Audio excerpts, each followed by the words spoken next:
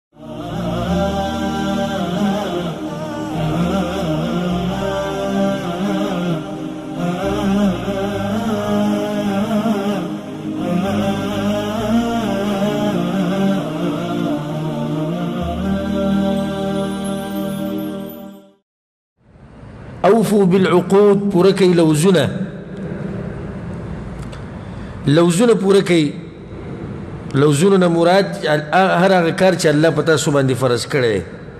حلال او حرام حدود او عبادات او د شان بندګانو په منځ کې چې کوم لوزونه دي ټول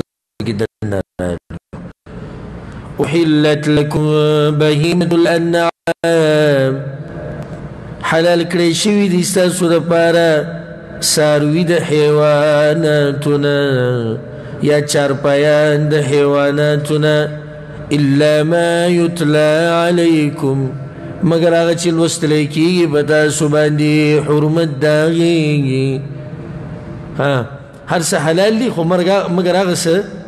مګر هغه چې د هغې حرمت بیان شوی دی لوستلی کېږي په قرآن کې او په حدیث کې دې ځای کې یو مسلې ته اشاره وکړو دا آیت را روان دی اوس نږدې انشاءالله چې الله وایي ما دا دین پوره کړی دی الیوم اکملت لکم دینکم نو د عباس زمونږ رونه چې ته د قرآن او حدیث مسله بیان کړي دې راولګي وي میخه پکې شتي د دې میخې دې مسلې نه خلکو سمه مسله جوړه کړي نو مختصر به بیان کو اگر کدی باندې زما تفصیلی الحمدلله بیانونه شتي میخه حلال ده د قرآن او حدیث پرنا کې اولنې دلیل دی دا دلیل دی کنه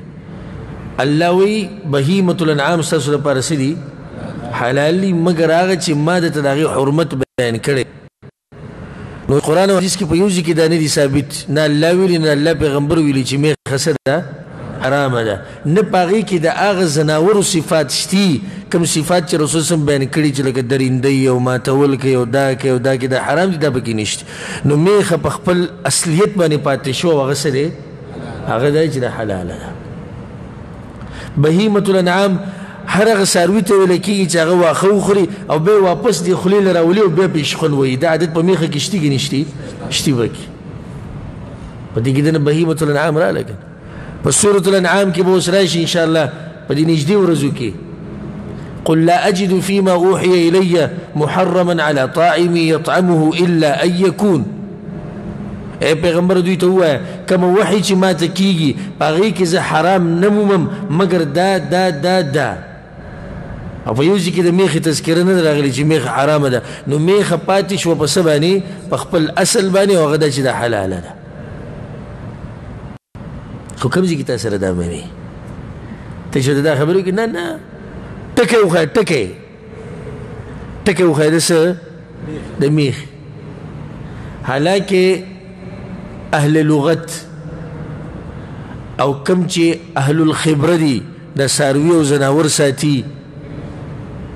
د دې خلکو اتفاق دی په دې خبره باندې چې میخه یو قسم دی د غواګانو نه میخه یو قسم دی د سنه غواګانو لغت ولم دا وي او کم انسانانو سره چې پوه دا میخه ډیری ساتي او دا غواګانې ساتي دا ساروي ساتي دا غوینه ته پوسو که غویم په دې خبره خپوه دي چې دا بالکل دقه شی د غواو میخه کې دوه فرق نشته معمولی فرق دی نو چې د غوا تذکره وشي په یو ځای کې چې غوا حلاله ده نو په دې کې دنه سره ده میخه به کوم راځي میخه یو قسم دی ګره اوس اوخان څه دي حلال دي اوخان حلال دي که حرام دي حلال دي خو نه صبر سور اوخ حلال لکه حرام ته د سور ټکی وخایې ځه الناقة الحمراء ما ته به داسې لفظ ښیې الناقة السوداء تور او لفظ به ما ته ښیې نو بیا به یې څوم درته پاتې نه شي او ما یو کس سره په خپله دا باس کړی او ما څو څو پېرې دا ذکر کړی تاسو ته په دې میخه باندې په انټرنیټ کې اولو ته د عام قواعد او قوانین ذکر کړو د قران او حدیث نه چې ګوره اصل دا دی چې الله زموږ د پاره هر ساروی حلال کړی دی مګر هغه چې الله حرام کړی پیغمبر حرام کړی هغه به موږ نه خورو نو ته ثابته که چې میخه حرامه ده زه موږ خو خپل اصل باندې یو ته حرامه حرامه چې ته حرامه به وخه نه نه وي دا نه منو خنو سمني وي دا لفظ به ماته خې جاموس ټکه موتی مهربان بدل پوره کوم خو بیا به منی وي ته خو خای کنه سید امام ابن المنذر رحمه الله اجماع نقل کړی د په دې باندې واجمعوا د ټول امت علماء اجماع ده د ټول امت علماء اجماع ده على ان الجواميس كالبقر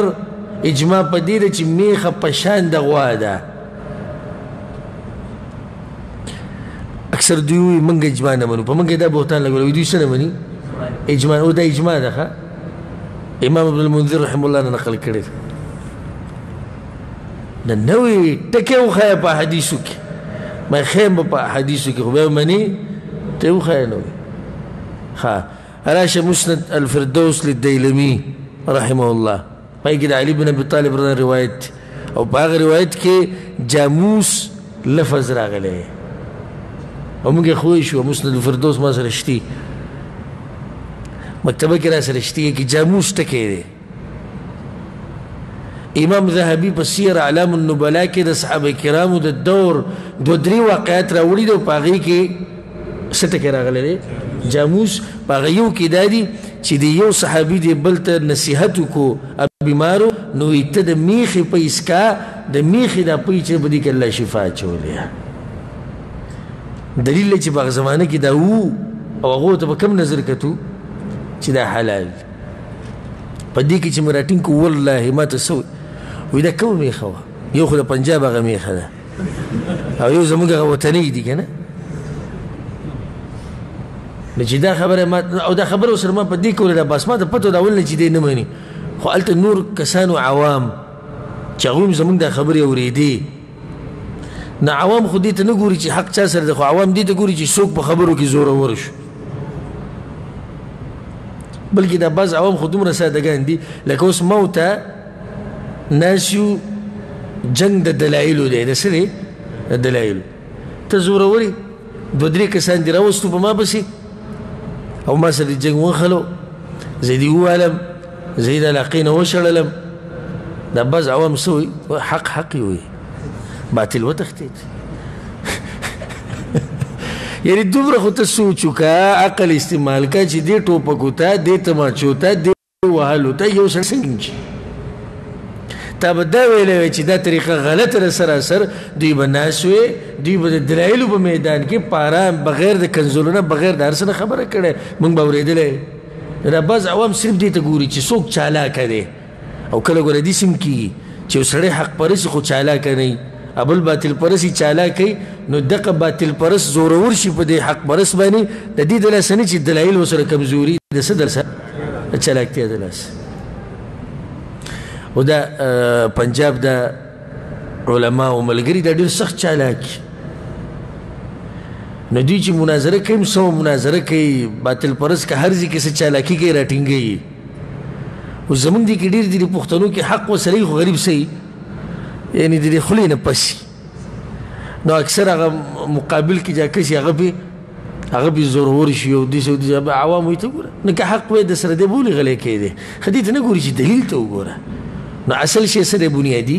هغه دلایل نه دي کس بیا ماته په اخر کې دا وي وي دغه پنجابي میخه کداغه وطني ته دی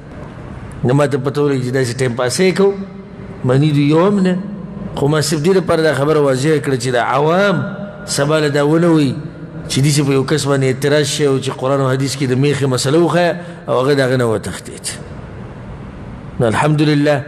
موږ یې خوی شو د قرآن او حدیث نه بلکل به د قرآن او حدیث نه ښایي هره مسله هره الف نه د یا پورې دا به صرف په قرآن او حدیث کې شته خفه کېږئ به نه راشه صرف یې بیان کا وایي دا شتي که نه بیا به یې ترې وباسو چې دا شتي که نه دې نه ثابته شوه چې میخه څه ده میخه حلاله بله ناشنا خبره په دې کې به یې راګیر کړي وایي زه صحیح ده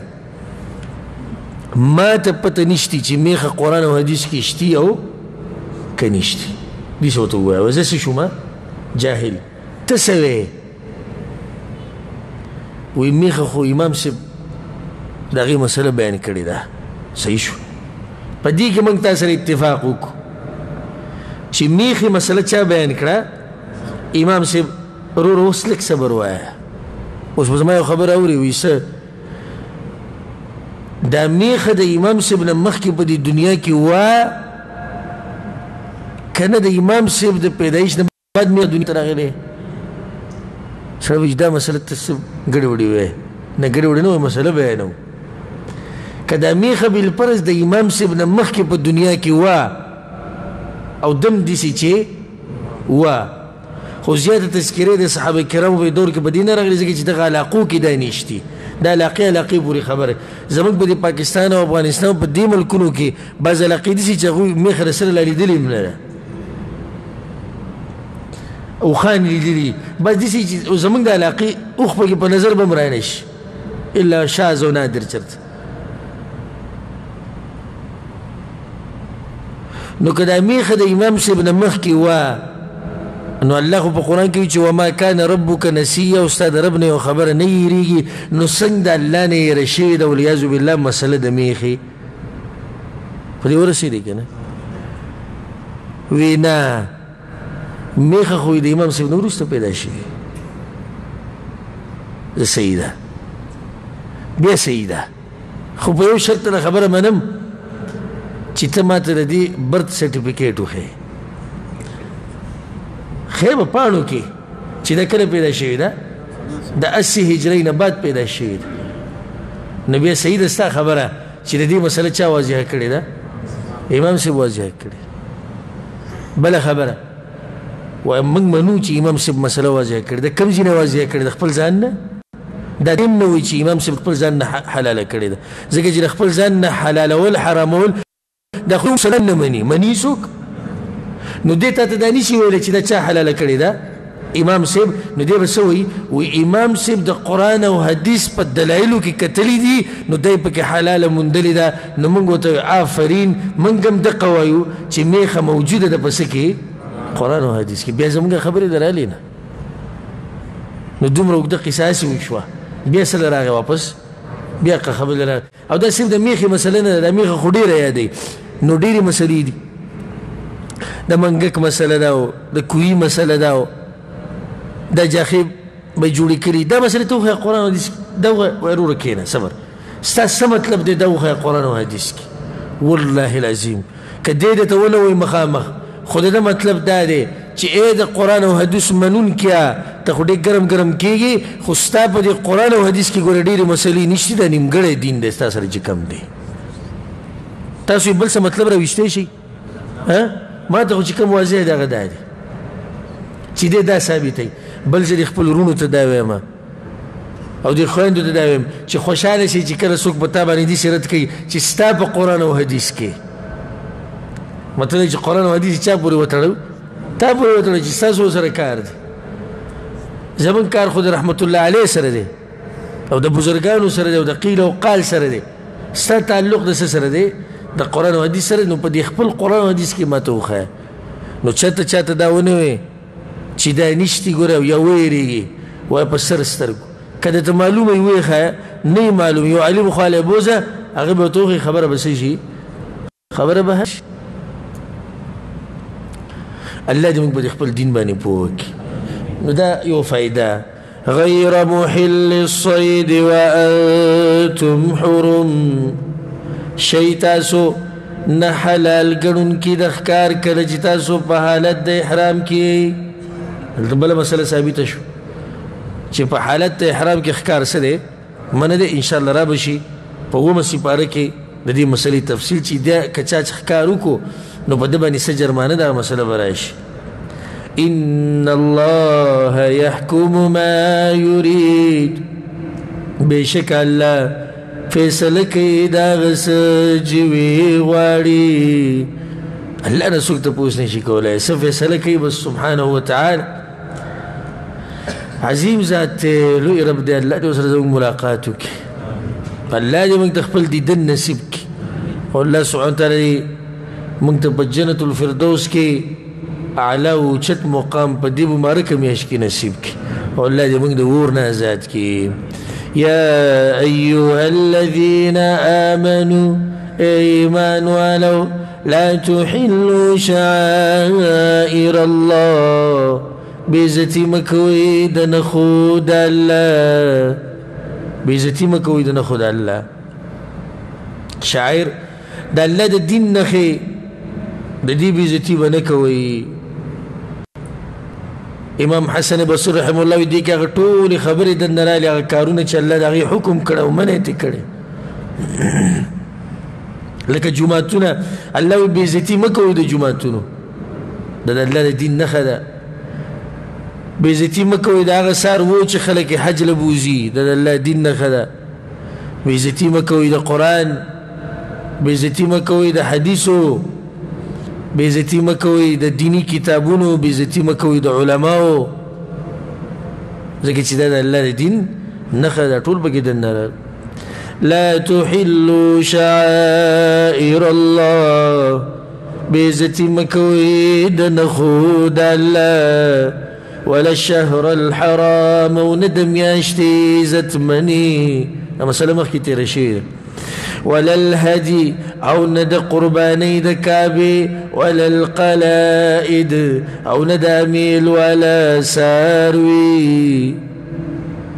یو هغه قرباني چې د کعبه طرف ته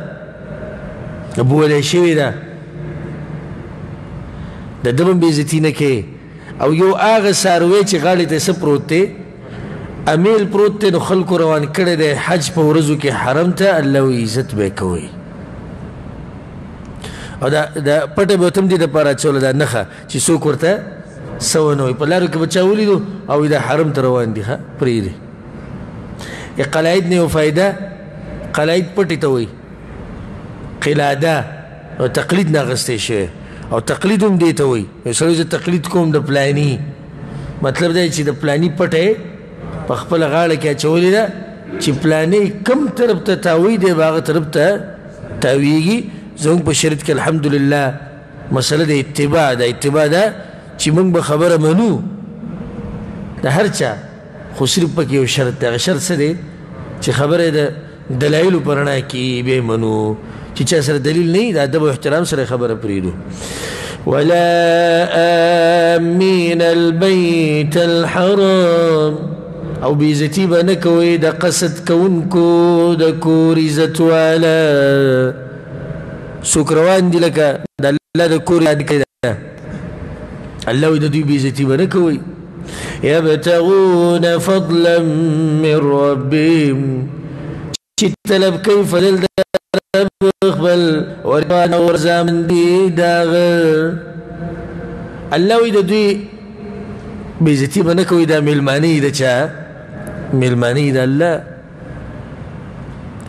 پدې کې متاس ته واقع او په ذکر کړي وا او بیا به ذکر کوم ایمانی واقع ده او ما سره دا واقع په خپل شخصي پیښه شوی و او زه پر حرم ته تلم عمرې له بیا د سمات نه راووتم د جمعات نه او کوم ځای نه چې جوړ کړي او د سمات لپاره هغې ته ورکوشو نه هغه دویم چت ته لاړم بیا چې د هغې نه راوختم واپس اودس مې وکړو چاردا مې وکړو راوختم نو هلته اکثر خوشبویانې خرڅېږي نو یو ډبی پروت و په هغې کې بوتلې پرتې وې خوشبویانو او هغه یو عربی یو سعودي او هغه هم سعودي و، ما ترې وروسته تپوس وکړو، هغه ورته ناست و خو هغه ترې ډېر لرې ناست و. او زه ته اوس څه ووایم اوس هم زما په ذهن کې د هغه کس هغه نقشه شتي د مخ هغه چې څومره ښایسته او نور الله هغه له ورکړی و په دې مخ کې نو هغه سیر ته ناست و ذکر او اذکار یې کولو او دا خلک راتلو بوتلې کولاواله ولګول بوتلې کولاواله ولګول نو ما دا سوچو کې چې دا کسې دا غستی په پیسو دې د پاره یې خودي چې دا خلک یې لګي نو ثواب به ملوي زه به یې ولګوم بیا مې سوچ کوم راځه تپوس ته وکړو دې څه قیصه ده زه به چې ورلم تپوس مې وکړو څنګه خیر و خیریت ته الحمدلله ما دا اتر ته یې خودي ویاو ما د ته د سی خوري چې هر سړی استعمالي کې نستا دي خرڅه وینه د زما دي خرڅو مې ما خو ناشنا خرڅول لیستا هغه د خلک کولاوي لګي کولاوي لګي بیا غنوي نوي بوتري کولاوي نو دوی ته وایا دا خو د بهر ملکونو نه راغلي دي دا خوشبین یو خو دوی هلته داسې نه دي لیدلي دویم چې به یې داسې ویني چې بس څوک پیسه نه وایي نو بیا خو به ته نقصان ډېر ورسي نو دوی ته څه وایې نو بس داسې غلی شو موسکی شو بیا ما ته وایي دوی ته څه نه شي ویلی دا خو د الله مېلمانه دي وایي وایي زه ورته نه شم ویلی او دا یې جواب وویلي انهم ضیوف الرحمن کله کله مو زړه شي زه ته وایم خو بیا وایم که الله راته وایي چې پلانیه ستا کور ته چې میلمه راشي هغه به یې د څه نه منع کوو زما خوا ته میلمانه راغلي تا د خپلو عطرو دی او ډبي نه منع کول بس بیا غلی شم بیا چې د الله د میلمنو قدر به کوو ځکه چې دا خو راغلي په الله پسې دي هغه ملکونه خپل پرېښوي دي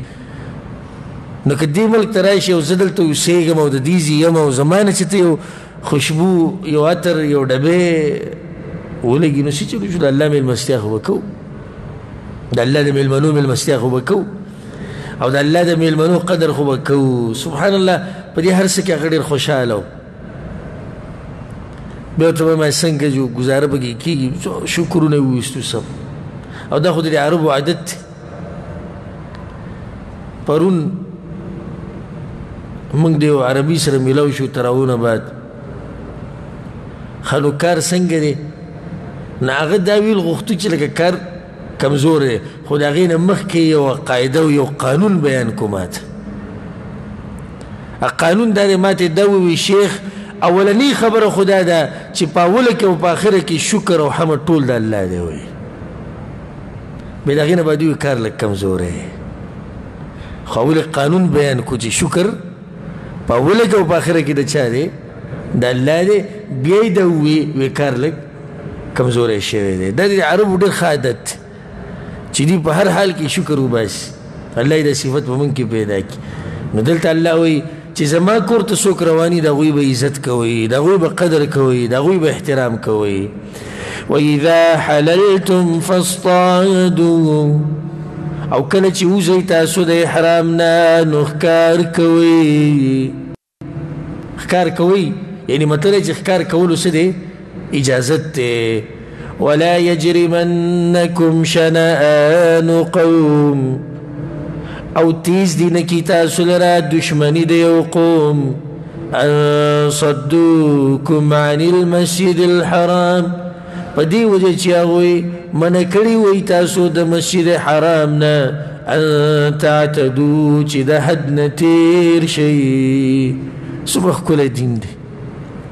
دومره مزیدار دین هم چرته لیدلی دومره عدل او انصاف والا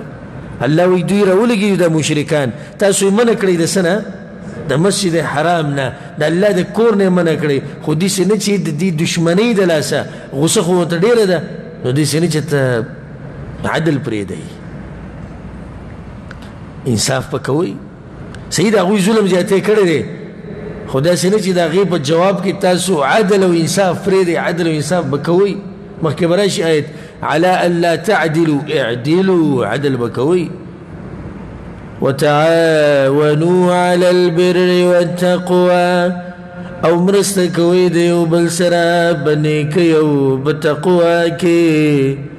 ولا تعاونوا على الاثم والعدوان او مرسته مکوي د یو بل سره په ګنا او په ظلم کې د ګل عام قانون دی بشریت چې کلم یو کار د ګنای او ستا پلار ته ته وی چې وې کنه وېک مور ته وی خزه ته وی ملګری ته وی الله وی نه ګنا او ظلم کې بمرسته